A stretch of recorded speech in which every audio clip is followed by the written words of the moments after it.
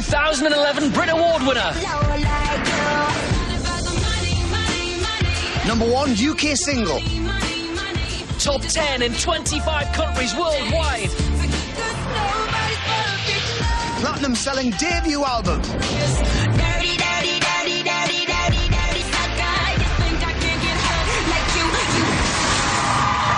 Performing Knows Best. Please welcome Jessie J.